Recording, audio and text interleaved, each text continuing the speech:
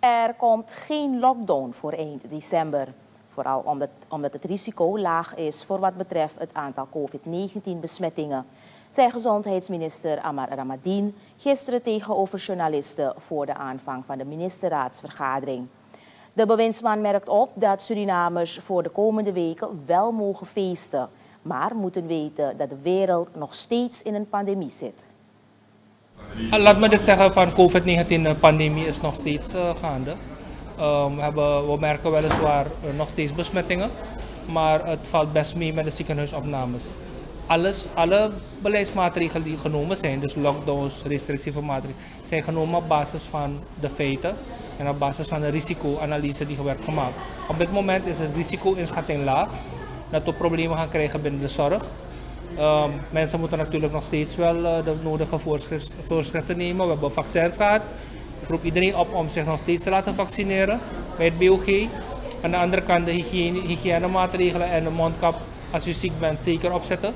Maar het blijft een risico en we moeten daar voorzichtig mee zijn. Op dit moment, we monitoren de situatie, denk ik niet dat er uh, in de komende periode um, restrictieve maatregelen zullen komen.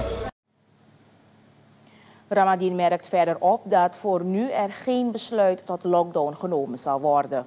Maar de situatie wordt nog gemonitord. De oproep aan de samenleving blijft dan ook overeind om zich te vaccineren en hun verantwoordelijkheid in acht te nemen. Op dit moment zit mijn directeur bij de DC van Paramaribo om met de organisatie die de Orojari uh, festiviteiten gaat organiseren afspraken mee te maken. Er zijn nog steeds geldende veiligheidsprotocollen die nageleefd moeten worden. Waar ziet u nog wel een sanitizer in een winkel? Waar ziet u nog een sanitizer in een restaurant? Waar zien we die social distance?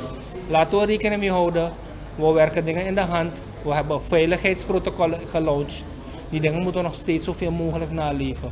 We snappen dat het, uh, dat het kerst is en in december drukte. Dan is het juist zaak dat u gaat investeren en blijft investeren in deze zaken. Want ik kan met u meelopen naar, naar een paar horeca, eetgelegenheden, et cetera, of winkels, noem het maar op, groothandelszaken misschien. En dan gaan we kijken hoeveel procent uh, nog steeds de protocollen naleeft. Ik mark my words, we kunnen, al, we kunnen genoeg feesten, maar laten we niet hopen dat we in januari met zoveel besmettingen zitten en zoveel mensen in het ziekenhuis, dat we straks weer terug moeten gaan naar de situatie. Het is gewoon een gezondheidsadvies en waarschuwing die wij lanceren. De minister zegt dat zijn departement nog voor eind van het jaar komt met specifieke adviezen en voorlichting.